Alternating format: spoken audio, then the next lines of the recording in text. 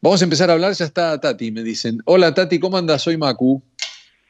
Hola Macu, ¿cómo estás? Un placer, muchas gracias por la invitación. Qué linda tarde que tenés, ahí están escuchando atentamente todo. ¿Viste? Y hoy no vamos a hablar de política, que es algo que siempre suelo tocar en mi programa, así que eh, nada, hice un, un, breve comentario. Te escucho con un poquito de eco, no sé si es la radio que lo tiene que modificar o vos que estás por ahí con algún, ah. no sé, con algún dispositivo o algo de manos libres, capaz que eso es lo que... ¿Ahí me escuchas mejor? Ahí te escucho mucho mejor. No, bueno, hola Tati, ¿cómo andás? Eh, ya que estamos en esto de la actualidad, decime cómo te ha cambiado todo con el nuevo gobierno, porque bueno, vos trabajás con gente, te contratan, ¿cómo, cómo encontrás el país y tu, tu actividad en este momento? Bueno, es difícil vincularlo a, la política en sí, sino más bien a la situación del país, obviamente como cualquier em, emprendimiento o, sí, vamos a emprendimiento o, negocio o, como quieras llamarlo. Sí, claro. Eh, sí, hay limitaciones porque también la gente está como recortando un montón de gastos y bueno, y de repente se nota un poquito el impacto en, las consultas y demás, pero bastante bien porque también hoy por hoy la gente eh, vive con niveles muy altos de estrés, eh, come muy mal y eso afecta directamente la calidad de vida. Y muchas personas eh, prefieren de repente invertir en una consulta nutricional, que bueno, nuestra consulta también es eh, bastante holística, en donde se tocan diferentes puntos de vista, ¿no? En cuanto a la salud en general, porque de alguna forma es apostar a la calidad de vida y de repente en situaciones en donde hay tanto estrés, donde hay tanta ansiedad y demás, es fundamental tener como un eje, tener como un orden eh, para poder afrontar las situaciones de la mejor forma posible. Entonces muchas personas de repente prefieren hacer esa inversión. Totalmente, coincido. Y por otro lado, la nutrición, ustedes, las Nutri, como se llaman ustedes mismas, eh, han ganado mucho en importancia porque la salud se ha puesto por sobre todo. O sea, cuando, cuando la mayoría de las personas que ignorábamos, no ustedes que son profesionales, pero por ejemplo, el, el, gran público empezó a relacionar mucho la comida con el sentirse bien, con la salud mental, o sea, hay un montón en el estado físico, hay un montón de cuestiones que hizo que las incorporara al nutricionista, que lo incorporara dentro de también las prioridades que uno tiene, ¿no? Aprender qué comer, cómo, cómo hacerlo, por qué, cantidades, etcétera. Sí, tal cual, Maco. Y además también es impresionante, o sea, el feedback que tenemos de la gente cuando de repente logran adherirse a la propuesta que ellos están una o dos semanas y te mandan mensajes y te dicen, de verdad, me siento distinto, estoy durmiendo mejor, me descanso con más energía. Entonces uno como que afronta la vida desde otro lugar. Eh, si ya de por sí la vida en sí, hoy por hoy, es bastante cuesta arriba en un montón de aspectos, eh, por lo menos encontrar un eje en uno, ¿no? Como sentirnos bien para decir, bueno, nos vamos con todo, tener un poco más de fuerza y ir con un poco más de optimismo y también la actividad física, ¿no? Como que yo justamente hago nutrición deportiva, entonces todo el... Sí, estoy como muy ligada al deporte, me encanta, o sea, el experimento, o sea, bueno, vos también entrenás, así que podrás contarnos de eso. Sí, sí, sí. Eh, de, cómo ayuda, ¿no? A bajar los niveles de estrés y a, a poder como transitar la vida de otra manera. Mira, hay, un tema que, en mi opinión, viste que siempre buscamos, un día le, consulté a un, a un, psicólogo, ¿cómo hacíamos? Ahora estoy hace dos meses o tres que no puedo correr lo que, lo que quiero, no, puedo, no estoy pudiendo correr por una cuestión de espalda, pero que ya lo voy a solucionar. Eh, y le pregunté cómo buscar incentivos. Yo, por ejemplo, cuando corro, no sé, busco distintos incentivos, o pienso en gente que me hace feliz, o pienso en, en mis hijos o pienso en un, espacio que me gusta, un lugar.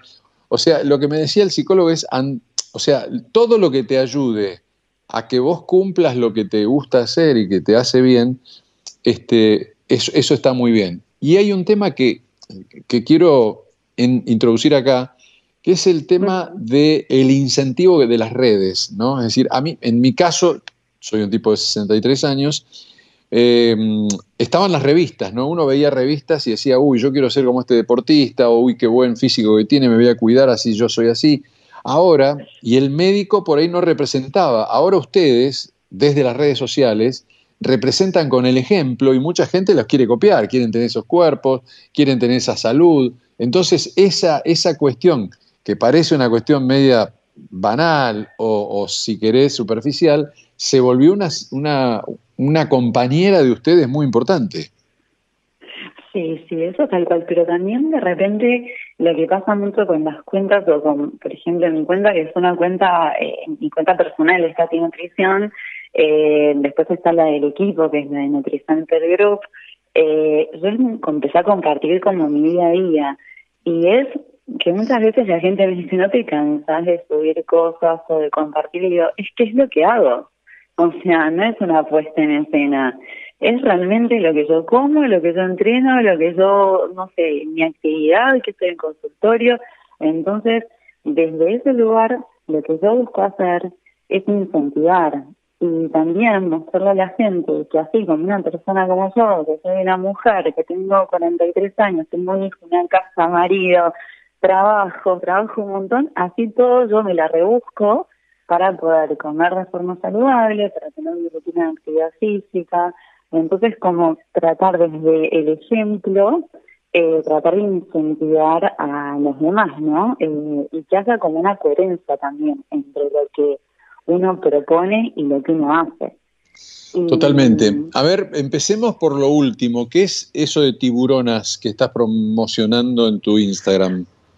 Bueno, Tiburones es eh, un programa online que justamente surge porque en el consultorio muchas veces nos encontramos con una situación de que la gente nos decía, me encanta el plan que armaste, está buenísimo, pero es como que de repente pierdo la motivación, voy dos semanas bien y qué sé yo, y me pincho, y o como algo distinto y me cuesta retomar. Y bueno, yo he empezado a hacerlo como mano a mano con los pacientes, con algunos que tenían estas dificultades, pero no me da la vida para hacerlo de forma continua, de, ofrecerle como un asesoramiento online, darle mi celular y que me escriban y demás. Entonces ahí surgió esto de, de tiburonas, que es tipo ofrecerle un soporte online a la gente que esté buscando cambiar sus hábitos, su alimentación eh, y su estilo de vida. Entonces somos ocho nutricionistas que estamos en diferentes eh, turnos de lunes a lunes, em, compartiendo con los pacientes las comidas, ellos nos mandan fotos. Hay, hay dos opciones, con fotos y sin fotos. Hay gente que por ahí prefiere como... o sea que estás virtual, están, están virtualmente en contacto. Exacto, es en contacto, hay un grupo para dudas, les mandamos lista de compras, les mandamos motivación, ahora estamos con un desafío de 21 días de actividad física, en donde todos lo hacemos, yo también lo hago, eh, también como para incentivar a las chicas y como que genera una energía re linda, eh, nada, este motivación y hacemos planes de alimentación individualizados al punto que tenemos embarazadas, no sé, de una chica de siete meses, una que acaba de tener un bebé, eh, que también transcurrió el embarazo con nosotras, eh, mujeres que tienen menopausia, eh, adolescentes, mujeres con niños pequeños, como que hay distintas realidades. Entonces, cada realidad tiene un tipo de atención distinta. Entonces, o sea que ustedes están específicamente digamos, precisamente con mujeres, eh, trata, tratamientos con mujeres, no con hombres también. Bueno, empezó la propuesta con mujeres, pero me empezaron a consultar varones, entonces surgió... Eh, claro, porque eh, perdón, Tati, pero si vos das una dieta, va, no me gusta hablar de dieta, creo que a vos tampoco, o a, los nutris tampoco, una, un plan de alimentación la puede comer hombre o mujer, ¿no? Supongo. No, tal cual, pero como que el enfoque del programa lo habíamos pensado en mujeres, de hecho, que se eso, dan charlas eh, médicas ginecólogas, dan charlas psicólogas, o sea... Bueno, eso está bien, porque son cosas que les pasan a las mujeres, el embarazo es de las mujeres, en fin, la psicología, si querés, también, en que si crean ustedes una especie de colectivo entre todas, también tienen sus temas eh, que por ahí nosotros los hombres no los compartimos con ustedes, que yo, puede ser. Bueno, pero eh, así como surgió esto de tiburonas, me empezaron a escribir personas, incluso tengo pacientes en donde me dicen, estoy necesitando eso. Y lo sumamos, o sea, le dijimos, bueno, pongamos tiburones. Claro. Eh, incluso hay hay parejas que se suman y como que lo van haciendo a dos y se, y se copan y están desde septiembre en el, en el Buenísimo, ahí no tienen que hacer dos platos, dos, dos, dos comidas distintas, sino que comen lo mismo. Bueno, sí, perfilado distinto porque obviamente que las cantidades y todo es diferente. Está bien. ahora lo que estamos desarrollando, que sale la semana que viene, es lo mismo que tiburonas, pero eh, que se llama Sharks. Va a tener nombre propio, o sea, no va a ser una versión de tiburonas, va a ser Sharks. Eh, que es solo para varones y con los objetivos que nosotros... Ah, eh, mirá, o sea que estaba yo en, lo correcto. Sí, sí, así que Marco te podés sumar, ¿eh? te recontra invito. Para, hablame, de esa diferencia, porque me, me, cortaste recién, muy bien, profesionalmente, para decirme, no, pará, uno, las cantidades, o sea, hay una diferencia entre la alimentación entonces hombre-mujer. Y sí, sí, porque los requerimientos energéticos son diferentes. Nosotros, para que ustedes una idea, el plan de alimentación lo calculamos. Tenemos un Excel y ponemos eh, tu edad, tu peso, tu altura, eh, obviamente el género, porque es diferente el gasto calórico en un hombre y una mujer, eh, y también el factor de actividad, que de repente no es lo mismo si vos tenés un trabajo sedentario de haces pilates tres veces por semana, a que si trabajas, no sé, en el puerto levantando bolsas y entrenás CrossFit cinco veces por semana. El factor de actividad iba a ser diferente, por lo tanto el gasto calórico va a ser diferente, vos esa persona le tenés que dar más comida, más energía, que alguna que esté más sedentaria.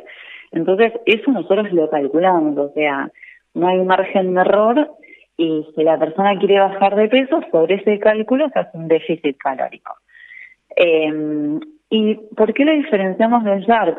Porque los varones por lo general el objetivo que tienen es definición, mejorar composición corporal, aumentar el músculo y bajar de grasa, eh, acondicionar su cuerpo para tener un buen rendimiento deportivo y no lesionarse, prevenir lesiones, eh, mejorar su salud y mejorar su laboratorio, porque muchas veces vienen con colesterol para allá arriba, ácido úrico para allá arriba, glucemias muy altas, con circunferencia de cintura muy elevada, que eso eh, conlleva un riesgo metabólico elevado. Entonces, ahí lo encara más por un tema de salud. Entonces, ese plan va a ser pensado más que nada en la necesidad que encontramos en nuestros pacientes varones. Así que, nada, después como ya, la semana que viene lo lanzamos y te mando invitación para que... Contame por, qué un, por qué cuando, y, enfócate bien en el, cuando en el audio, porque por ahí se, escuchaba un poquito más lejos en algún momento. ¿Por qué, ¿por qué eh, la, digamos, eh, la musculatura, ya sea en un hombre o en una mujer, que le gana la grasa, todos lo queremos, porque evidentemente estéticamente incluso es mucho mejor, pero ¿por qué le hace bien a la salud? ¿Por qué en, la, en, la, en cuando vos entrenás vas cambiando, vas sacando grasa y vas aumentando músculo? ¿Qué hace ese músculo a la salud?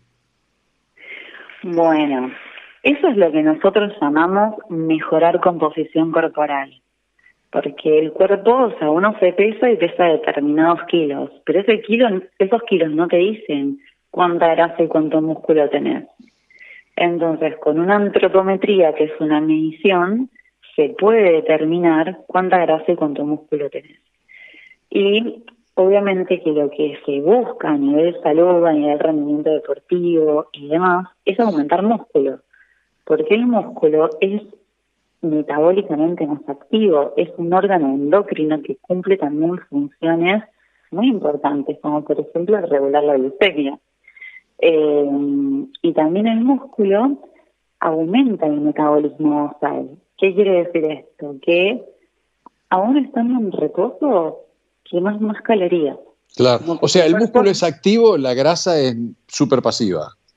Exacto, la grasa no te fuma nada, al contrario, grasa localizada, sobre todo a nivel abdominal, viste que en los varones es bastante común, las mujeres distribuyen como y en la cintura.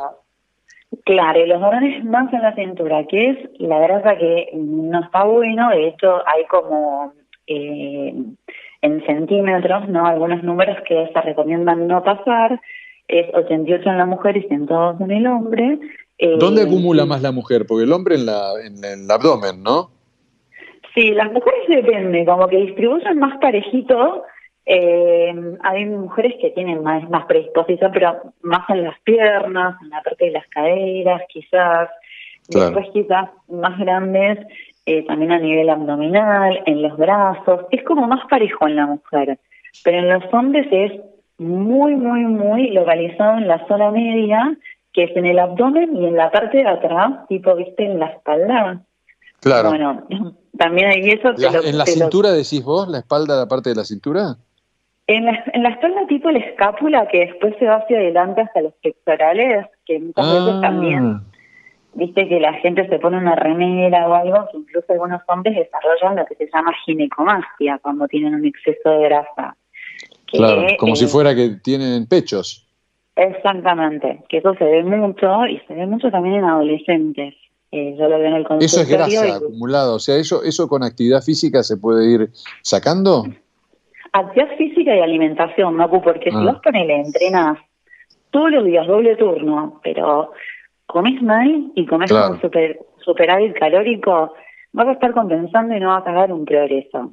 Entonces, siempre tiene que ir de la mano, como tener una alimentación equilibrada, tranqui, o sea, si la puedes perfilar con un nutri vas a dar resultados de forma más rápidas, como mucho más eficientes. Claro, eh, claro.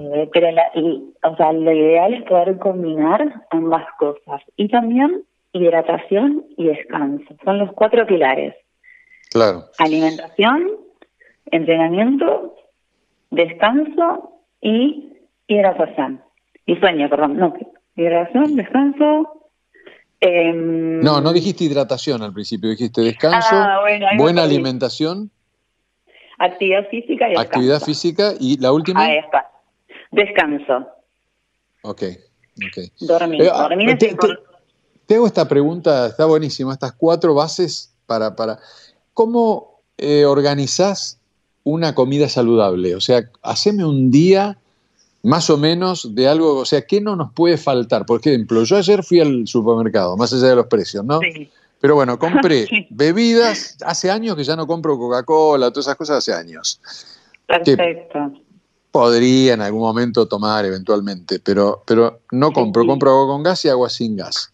Después frutas y verduras. Tampoco soy muy piola para comprar verduras que me encantan, pero no sé hacerlas. O sea, ¿cómo organizás una compra y una organización, digamos, de, de alimentar eh, saludablemente a una persona, a una familia? Bueno, en líneas generales, ¿no? Me estás diciendo.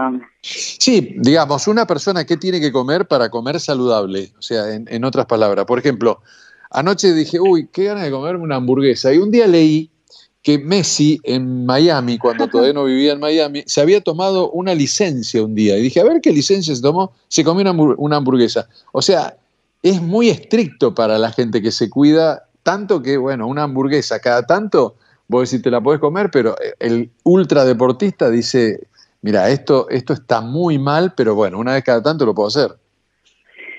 Sí, bueno, hay que ver cuánto, cuánto de verdad también hay en todo eso. Pero en realidad, si vos te pones a pensar, ahora te respondo la primera pregunta que me hiciste de, de pautas como para claro, para comer sano. Exacto.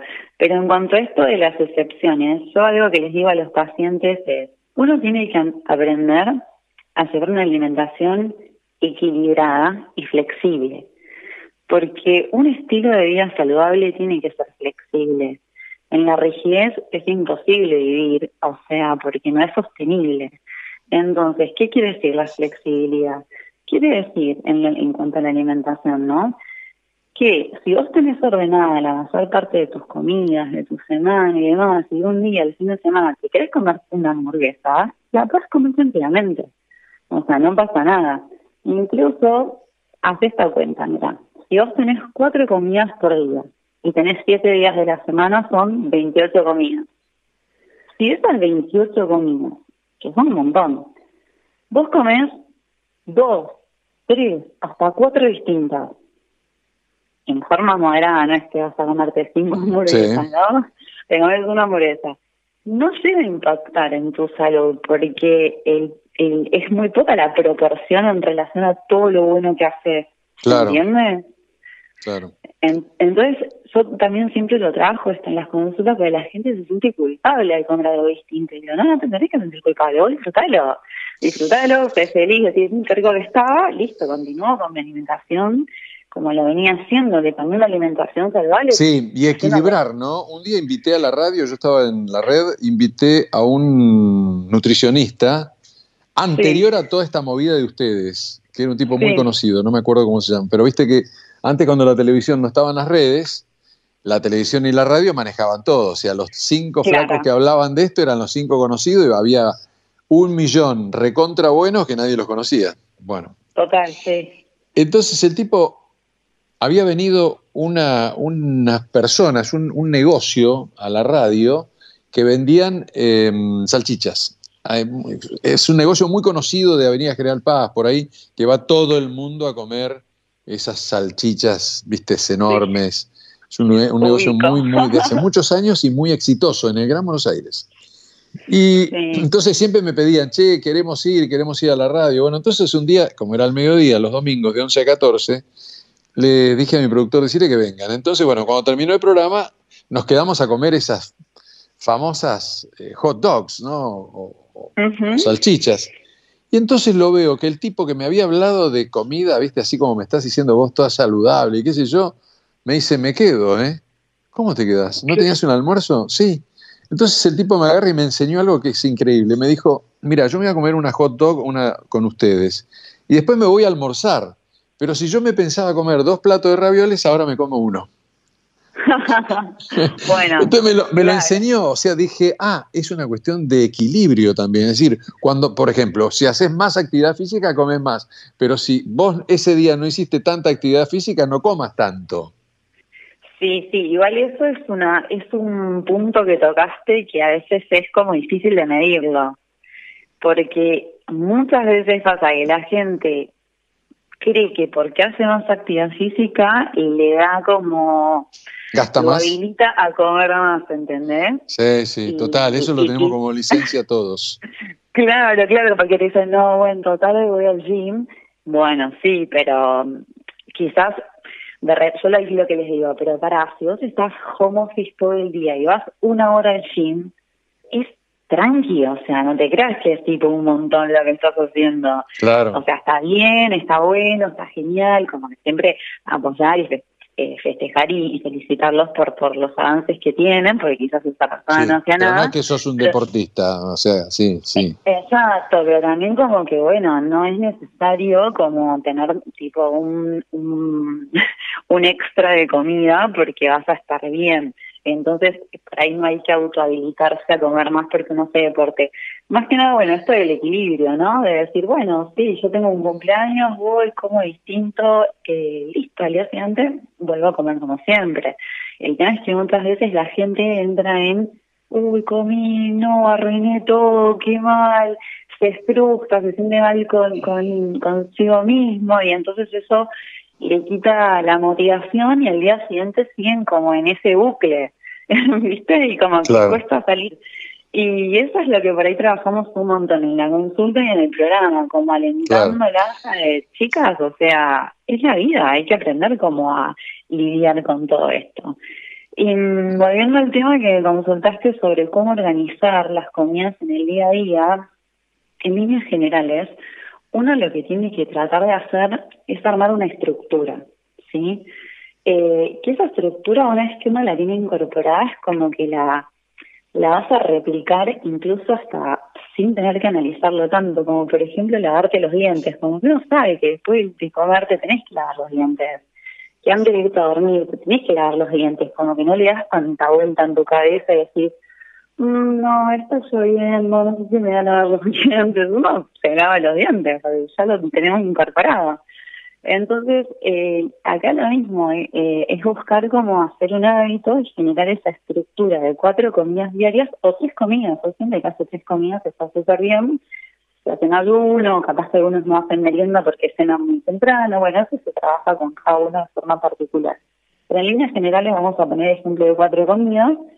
En almuerzos y cenas, lo ideal es que tu plato tenga siempre más otra porción de vegetales, que tenga una porción de proteína y que tenga una porción de algún hidrato de carbono, por ejemplo, papa, batata, arroz, quinoa. O si de repente no estás como muy activo, puedes usar solamente tipo proteína y vegetales. ¿Me seguís? Sí, sí, total. Anda, o sea, tenés un minuto más porque se me fue el tiempo, pero a ver, armame más el platito ese.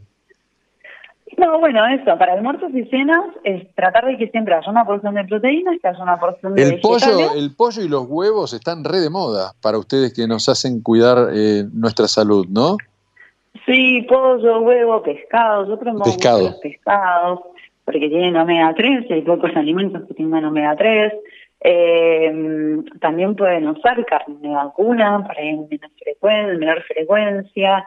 Y después todas preparaciones con huevos, suflé, tarrinas, esas cosas.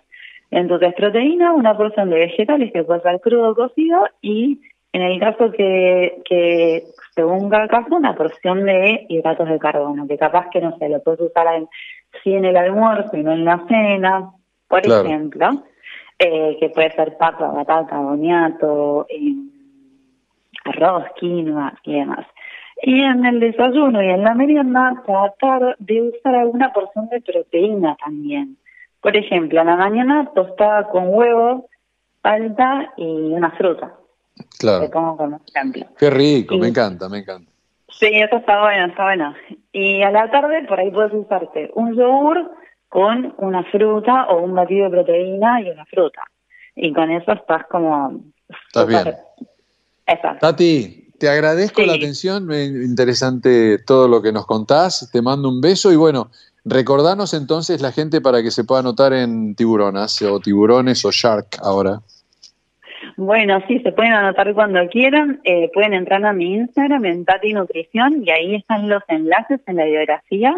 Nos escriben ahí o me escriben al directo y yo les paso la info, no hay ningún problema. Me pueden contactar por ahí.